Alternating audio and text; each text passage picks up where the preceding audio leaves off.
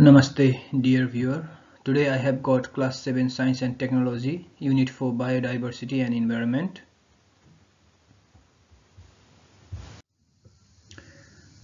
Fill in the blanks using appropriate words. Solar energy is an example of perpetual resource.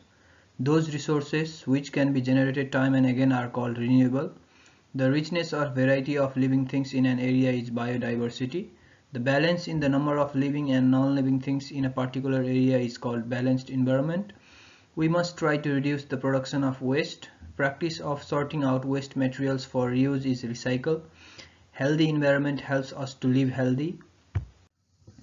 What do you mean by reuse? Reuse means to use something again or more than once. For example, you can reuse your grocery bags instead of throwing them away to conserve resources. Recycle Recycle means to convert waste into reusable material. It is the process of converting waste materials into new materials and objects. For example, you can recycle plastic bottles to make new plastic products. Reduce. Reduce means to make something smaller or less in amount, degree or size. It is the process of using fewer resources and creating less waste. For example, you can reduce your carbon footprint by using public transportation instead of driving your car. Natural resource. Natural resource is something that comes from nature and can be used for some benefit without human intervention. It can be something like water, air, soil, minerals, plants or animals. Elements of environment. The elements of environment are the basic components that make up the environment. They include the atmosphere or air, lithosphere or rocks and soil, hydrosphere or water, and the living component of the environment or biosphere. Watershed A watershed is an area of land that separates water flowing to different rivers, basins or seas. It is also an area or region drained by a river, river system or other body of water. Wetland A wetland is an area of land that is saturated with water either permanently or seasonally. Wetlands are important because they provide habitat for a variety of plants and animals and help to filter pollutants from water. Biodiversity Biodiversity refers to the variety of living species on earth including plants, animals, bacteria and fungi. It is the total variety of life on earth. Give reason Nepal is rich in biodiversity. Nepal is rich in biodiversity because of its unique geographic features so we can find many types of flora and fauna here in Nepal. The country is part of a biodiversity hotspot and lies at the transition zone comprised of six floristic regions. There are six biomes occurring in Nepal, including as many as 35 forest types and 118 ecosystems, which have been classified on the basis of altitudinal, climatic variation and vegetation types. Overpopulation is the key factor for environmental degradation. Overpopulation leads to environmental degradation because it leads to an increased demand for housing, food and resources which in turn leads to an increase in pollution and environmental degradation. Life cannot exist without natural resource. Life cannot exist without natural resource because natural resources such as air, water and food are essential for survival of all living organisms on earth. Air is necessary for breathing and exchange of gases in the body. Water is essential for hydration and many other bodily functions. Food provides the necessary nutrients and energy for growth and survival. The balance in the number of living and non-living things is the key to environmental balance. The balance between living and non-living things is important for environmental balance because living organisms depend on non-living things such as air, water and soil for survival. Non-living things provide the necessary resources for living organisms to thrive. In turn, living organisms play an important role in maintaining the balance of the environment by regulating the cycling of nutrients and energy. The balance between living and non-living things is essential for the survival of all living organisms on earth. Write the differences between reuse and recycle. Reuse, it is the process of using same product. Recycle, it is the process where the product is separated and recycled. Reuse, new product is not formed recycle new product is formed wetland and watershed wetland wetlands are land that is covered mostly with water watershed a watershed is an area of land that drains into a common waterway examples of wetlands are marshes, swamps, etc. Examples of watershed are river basin, glacier, lakes, etc. Renewable and non-renewable. Renewable, it can be easily replenished. Non-renewable, it cannot be replenished once it is exhausted. Solar energy and wind energy are the example of renewable resources. Coal, gas and mineral well are the examples of non-renewable resources. Water and petroleum. Water. Water is a simple chemical compound H2O consisting of two hydrogen atoms and one oxygen atom. Petroleum. Petroleum is a complex mixture of hydrocarbons formed from the remains of ancient marine plants and animals. Water is abundant on earth and found in various natural resources like oceans, rivers and lakes. Petroleum is not as universally abundant and requires specific geological conditions to form leading to uneven distribution and limited availability. Answer the following questions. Define biodiversity. How does human population lead to destruction? Biodiversity refers to the variety of species in an ecosystem. Human population growth significantly impacts biodiversity by driving land use changes such as urbanization and agriculture expansion, resulting in habitat destruction and fragmentation. Deforestation further reduces natural habitats affecting many plants and animals, animal species. Additionally, polluting from human activities degrades environments and harms wildlife. Overfishing and overhunting lead to population declines, disrupting ecological balance. As the demand for resources like food and water rises with the growing population, ecosystems suffer from excessive exploitation. Conservation efforts and sustainable practices are essential to mitigate these threats and preserve biodiversity for a balanced and healthy planet. What are the natural resources? Write the importance of natural resource. Natural resources are materials and substances found in the environment including renewable resources like water and forest and non-renewable sources like fossil fuels and minerals. Importance Natural resources sustain life, support ecosystem, drive economic development, provide environment, offer cultural and recreational value, regulate climate and contribute to biodiversity and genetic diversity. Managing them wisely is vital for a sustainable future. What types of activities help in the environmental protection? Following activities help in the environmental protection. Conservation efforts protect natural habitats and wildlife. Using renewable energy reduces greenhouse gas emissions. Recycling and waste reduction conserve resources. Pollution control measures safeguard the environment. Planting trees aids in carbon sequestration and biodiversity. Sustainable transportation reduces emissions and congestion. Eco-friendly products minimize environmental impact. Environmental education raises awareness and support. Water conservation ensures clean water availability. Wildlife protection preserves endangered species. Explain the importance and necessity of water resources. Water resources are essential for sustainable development, human health and environmental protection. They provide water and nutrients to various areas on the earth and support the growth of plants and animals. They also serve as sources of energy, navigation, recreation and agriculture. Water resources are vital for the well-being and productivity of human populations.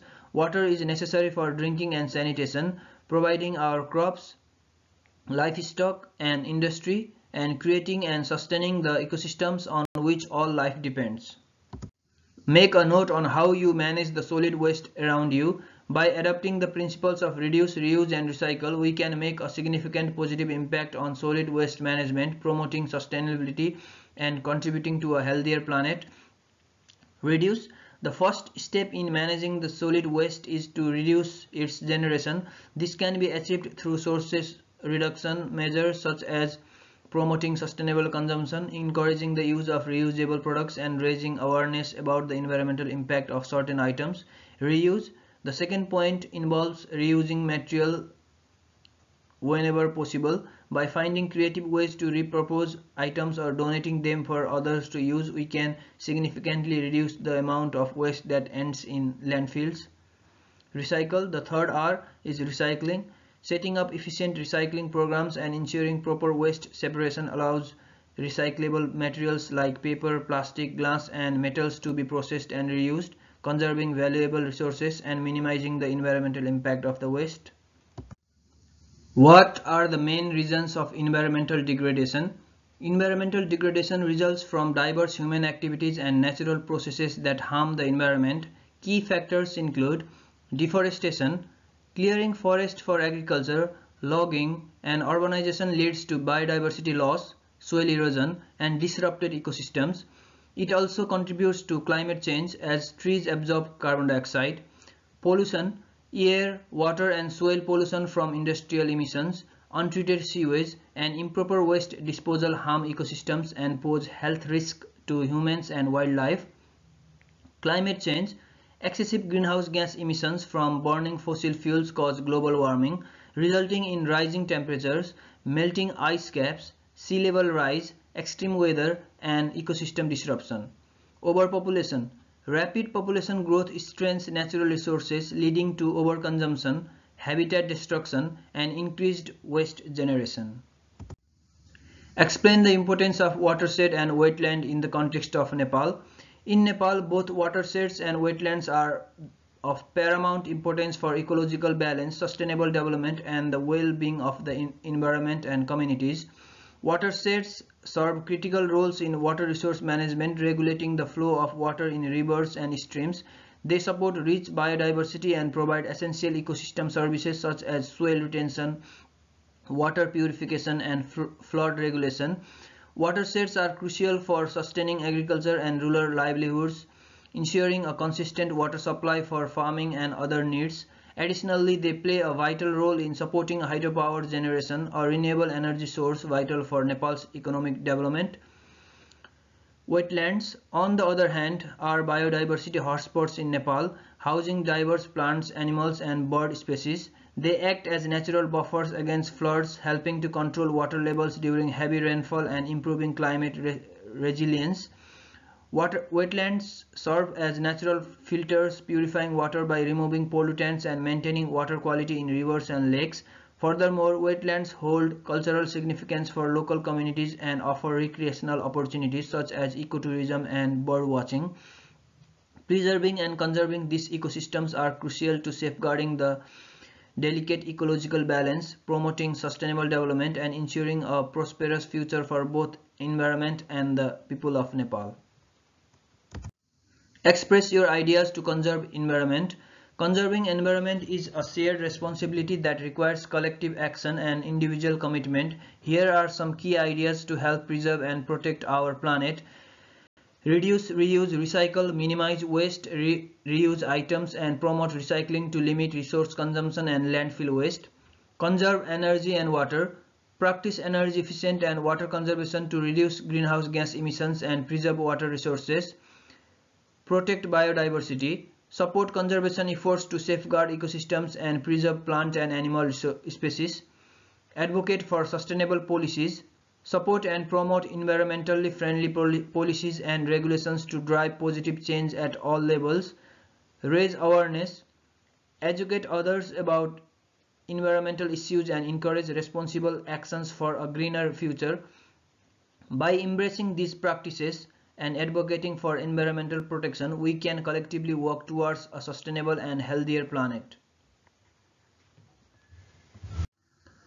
Explain in detail the initiatives that we human beings should take to maintain environmental balance. To maintain environmental balance, human beings must take proactive initiatives to address climate change, habitat destruction, pollution and resource depletion Transitioning to renewable energy sources like solar and wind, promoting sustainable consumption and conserving natural habitats are crucial steps. Responsible water management, circular economy promotion and advocating for environmental friendly policies are vital. Educating and raising awareness about environmental issues can inspire positive actions. Supporting sustainable agriculture, reducing plastic use and engaging in local community efforts are essential for a greener future.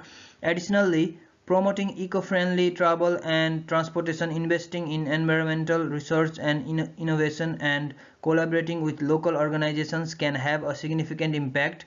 It is our collective responsibility to protect the environment, preserve biodiversity, and ensure a sustainable future for generations to come.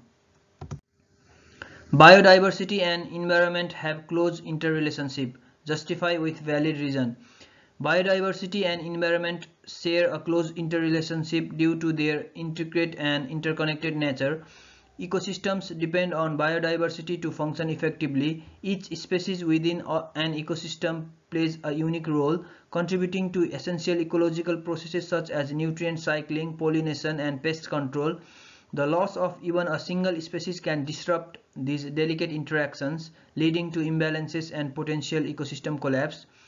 Biodiversity also enhances the environment's resilience and ability to adapt to environmental changes.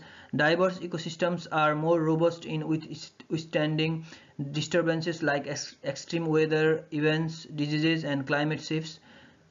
They act as buffers against environmental stressors, promoting long-term sustainability. Furthermore, a healthy environment is vital for supporting diverse life forms. Habitats rich in biodiversity provide abundant resources and shelter for various species, contributing to their survival and evolution. Conversely, human activities that degrade the environment, such as deforestation, pollution, and habitat destruction, threaten biodiversity and disrupt ecological balance. By recognizing and preserving these this close relationship, we can protect both biodiversity and environment, fostering a healthier planet for future generations. Analytical question. Observe the picture and answer the following questions. How do these activities affect the agriculture of our country? The activities of deforestation, forest fires and mixing of sewage in water have significant adverse effects on agriculture in our country. Deforestation leads to the loss of vital forest ecosystem that provide essential services like soil erosion prevention and biodiversity support. The absence of tree cover can degrade soil quality affecting fertility and water retention capacity, while altering local climate conditions can impact crop growth and productivity. Forest fires, whether natural or human caused, can damage crops, soil fertility and disrupt ecological balance, affecting pollinators and beneficial organisms. The mixing of sewage in water bodies used for agriculture poses risk to crops and public health due to harmful pathogens and pollutants. Contaminated irrigation water may transmit pathogens to crops, making them unsafe for consumption, and pollutants can degrade soil quality. Addressing these issues requires sustainable land use practices, forest conservation, and proper wastewater treatment to ensure agricultural productivity and environmental health. Do they affect water resources? If yes, write briefly. Yes, this activity can significantly affect water resources. Deforestation. Deforestation reduces tree cover which plays a crucial role in maintaining water resources. Trees absorb and retain water preventing soil erosion and regulating water flow. Without trees, rainfall runoff increases leading to flash floods and reduced groundwater recharge. Forest fires. Forest fires can degrade water quality by releasing ash, pollutants and sediment into water bodies. The ash can affect water pH and nutrient levels while sediment runoff can clog waterways and reduce water clarity. Mixing of sewage in water. Sewage mixing contaminates water bodies used for irrigation for or drinking, posing health risk and reducing the availability of clean water resources. Sewage contains harmful pathogens and pollutants that can cause harm that can harm both humans and aquatic life. How does wildlife get affected by above activities? The activities of deforestation, forest fire and mixing of sewage in water have profound and detrimental impacts on wildlife and biodiversity. Deforestation results in the loss of fragmentation of natural habitats, pushing wildlife to seek new territories or leading to their displacement. Many species, especially those with specific habitat requirements, struggle to adapt to new environments, leading to reduced population size and increased vulnerability to extinction. Moreover, deforestation disrupts ecological networks affecting predator-prey relationships and plant-animal interactions. Forest fires have direct and immediate effects on wildlife, Animals often fail to escape fast spreading fires resulting in injury or death. The loss of vegetation removes essential food and shelter sources for wildlife, leading to increased competition for resources and potential food scarcity throughout the food chain. Furthermore, fire-induced changes in vegetation composition can favor certain species over others, altering the balance of ecosystems. Mixing of sewage in water bodies poses severe threats to aquatic wildlife. Pollutants and pathogens from sewage can contaminate water, making it toxic and unsuitable for aquatic organisms. Fish, amphibians, and other aquatic species may suffer from poisoning or impaired re reproduction. Additionally, the degradation of water quality reduces availability of food sources for wildlife depend on healthy water ecosystems. Thank you for watching. Please do subscribe, like and share my video. Thank you so much.